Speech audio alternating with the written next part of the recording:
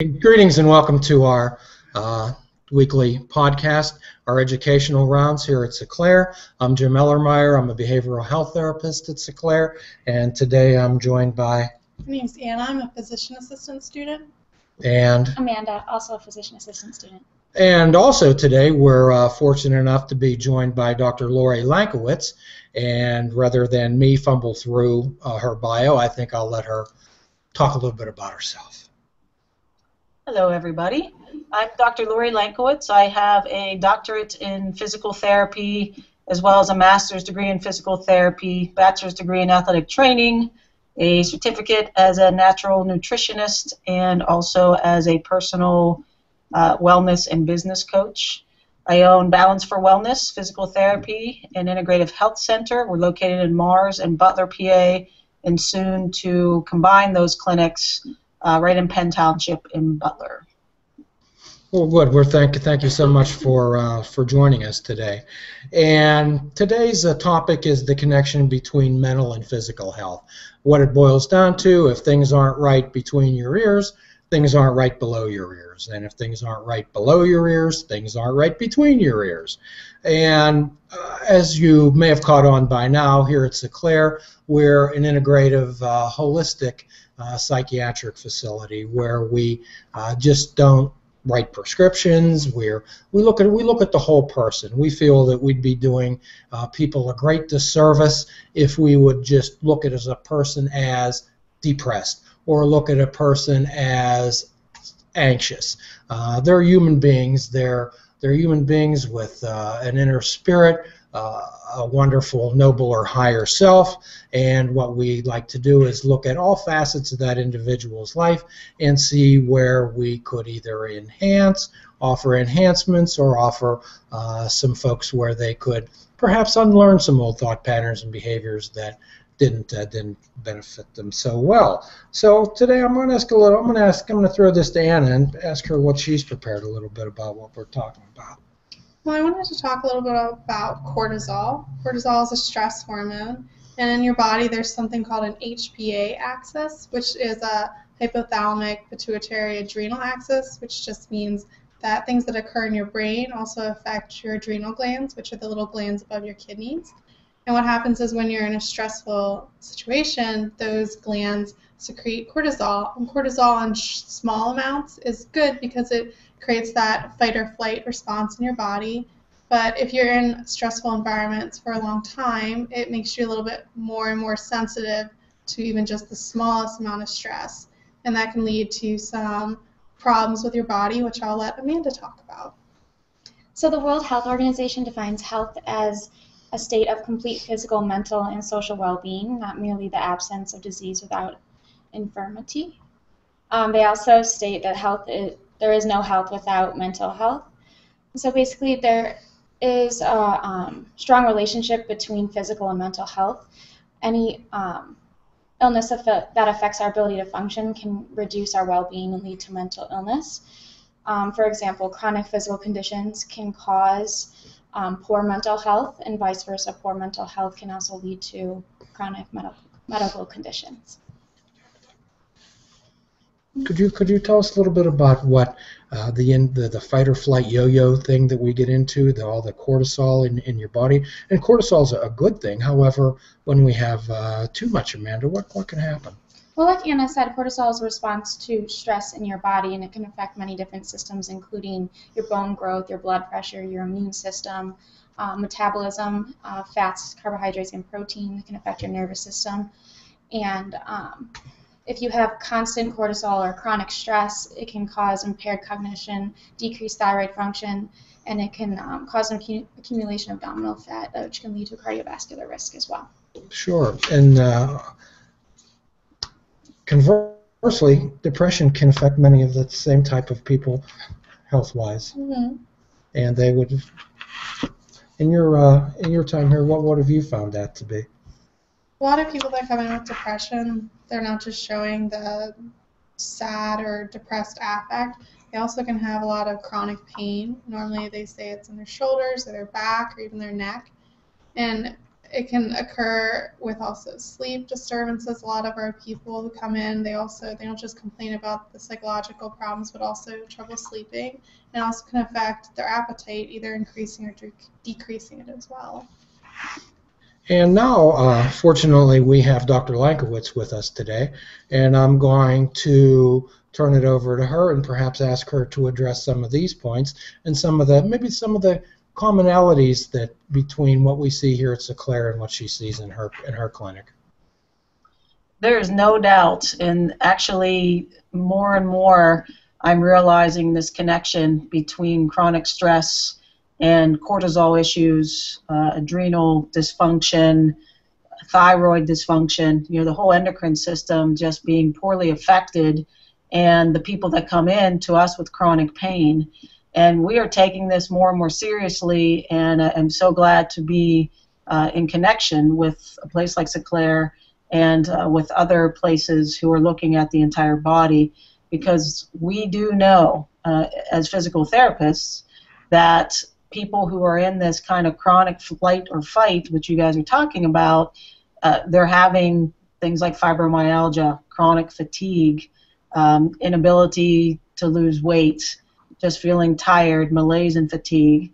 And they come in and tell us, well, my neck hurts, my back hurts, you know, I have this pain all over the place. I've gone to my doctor and they tell me, well, I need to change my nutrition or lose weight or give me an antidepressant, and it, it's just not working. So, and more so for me over the last maybe year or two, um, understanding this at a different level uh, from physical therapy, because what we're used to are as PTs are treating kind of the acute issues. You know, somebody hurts themselves, or maybe it is chronic, and you know, but we're giving the diagnosis, uh, given the diagnosis of fibro, and what can we do with it? And we just kind of keep digging uh, deeper and deeper to understand the endocrine system along with this. And so to get that connection, that mind-body connection, where we know uh, we have to work as PTs and also with nutritionists and with MDs to figure out what's going on in the endocrine system. Is there really uh, hypothyroidism going on? Is there gluten sensitivity going on? Are the adrenals just totally out of whack and, and just pumping out cortisol all over the place. We need to know that through blood work uh, and even through symptomology.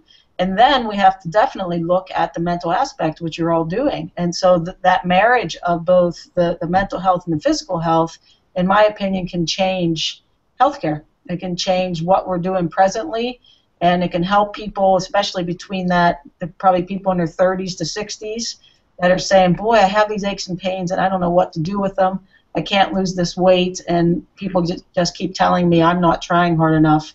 Or we can all come in and say, let's look at the whole connection and, and take you to a, a better state of health. And what we do here at S'eclairer, Dr. Lankiewicz, is take more of a proactive stance toward individuals' health and wellness uh, rather than reactive. When they come here, it's because of a, a reactive issue. However, our our goal is to have these individuals get a tool belt full of tools that so when they can go through life when things then things continue to happen. Uh, the speed bumps the potholes are still out there. Uh, and in an attempt to to deal with them in a more calm and rational uh, and and stable productive way. And I'm sure that uh, you deal with many of the same type of issues. Absolutely. And I've had this discussion already with Dr. Chaudhry and the importance of prevention.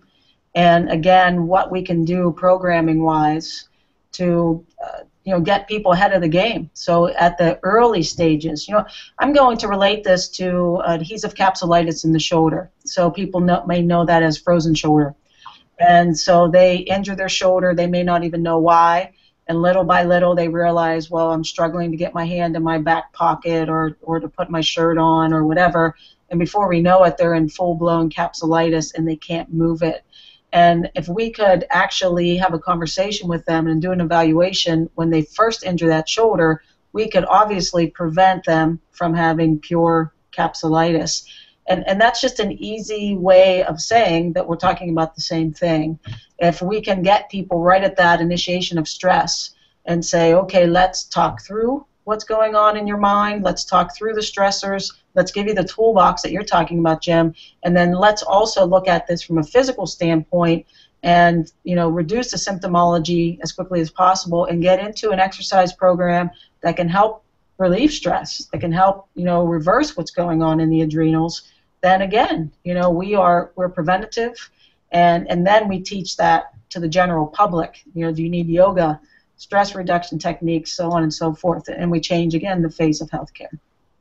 And that's one of the things that uh, we attempt to assist people in changing mindsets. As a, this is the way it's always been. This is the way I was raised. This is I'm stuck in a rut. Uh, what we try to get across to people that you can teach an old dog new tricks.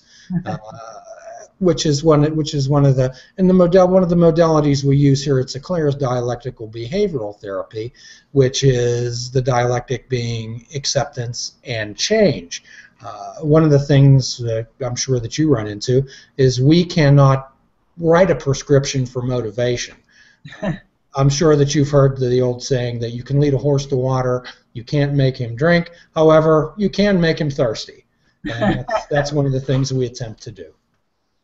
Yeah, um, we use that all the time. Actually, we use that analogy, and and we actually chuckle because when people actually start drinking the water here, um, you know, we, we invite them into our, our new way of thinking, and, and that's always a positive uh, thing to occur, obviously. But yeah, you know, this is all about education, and uh, Balance for Wellness is about education. I know Sinclair is about education, and we have to begin to educate the public uh, in a more rounded way. And you know, if we can bring us together as practitioners and bring in the physical and the mental, the nutrition, the spiritual, we bring it all together. We're then educating people uh, in mind, body, spirit, and and that's the way to start to truly change mindsets, and then to give support and uh, and and effectively make change in the body. Well, Dr. Lorri, uh, could you share with uh, our listeners and our viewers how they could contact you? Yes, there are multiple ways. Uh, on our website at www.balanceforwellness.com. Our information is on there. Uh, we can be reached at our Mars office at 724 687 0731 and Butler at 724 477 3181. Well, that's great, and uh, we so much appreciate you uh, being here today as I've been joined by I'm Anna. Ann Amanda. and To continue the conversation, please like us on Facebook, plus us on Google Plus, or follow us on Twitter under Sinclair Life, and keep an eye of- on any of these for our next live recording Mondays around noon to ask your questions. You can also find this and other grand rounds on youtube.com slash Video, and find audio versions on iTunes, Stitcher, Spreaker, and iHeartRadio. And please visit www.sinclair.com for more about us and other articles of our great blog. and for Dr. Lorri, Anna, Amanda, and myself, we'll leave you with, as always, please be good to yourself.